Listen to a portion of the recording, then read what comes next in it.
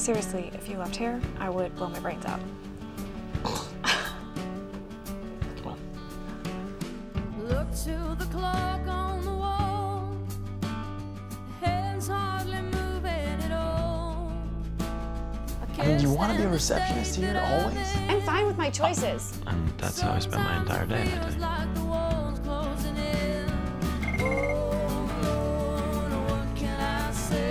Family, Jim. Um, I have a doctor's appointment in the city, so I probably won't be in until a little late afternoon. Okay, jealousy. I'm sorry I misinterpreted uh, our friendship.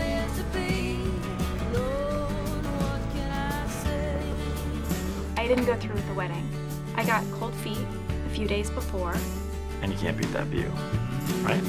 Try and burn my troubles away. Drown Shut.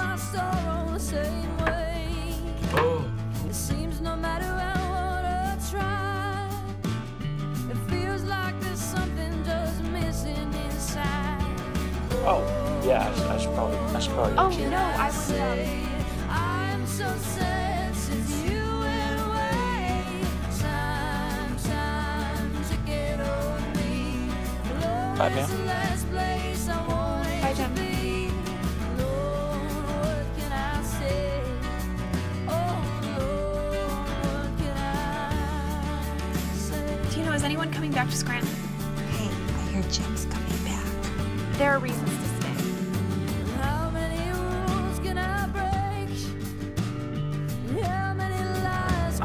happy I'm with Cam. I'm really sorry.